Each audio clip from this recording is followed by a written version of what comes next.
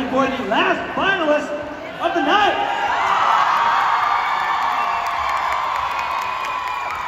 That's all the answer we need.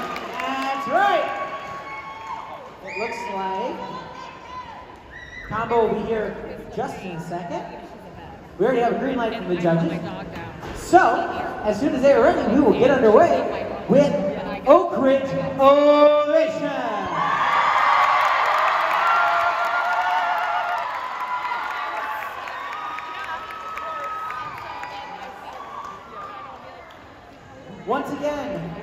Following immediately after Ovation will be two exhibition performances. One from Xavier Exuberance, followed by Xavier Exhilaration. Um, and while those performances are happening, the, the judges' scores will be tallied. And after that, we'll immediately be into our Hopefully final right awards away, presentation. and final awards presentation. Yeah. Yeah, we'll see when we get there. Just repeated exactly what you said. Yeah, what do you know? Are you just here to, am I just here to be an for you? Is this your show? It's, you know, it's your world, we're just living in it. exactly. Looks like we're just waiting for the thumbs up for the combo. It should be just, oh, am I hearing shushes? Am I, I just shush me? Shh,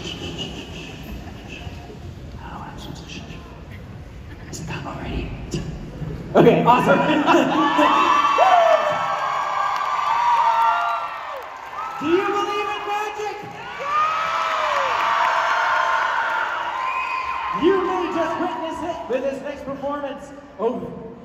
Ovation Show Choir's an audition extracurricular ensemble of about 80 7th and 8th grade students from Oak Ridge Middle School in Marion, Iowa. In addition to performing here today, Ovation 2024 competition season includes performances at Cedar Rapids Prairie, Northwest, Cedar Rapids, Washington, and Marion. This year's show tells the story of a young Wendy whose belief in magic leads her to an amazing adventure in Neverland. Under the direction of Liz Fontenot with choreography by Megan Callahan, this is Ovation.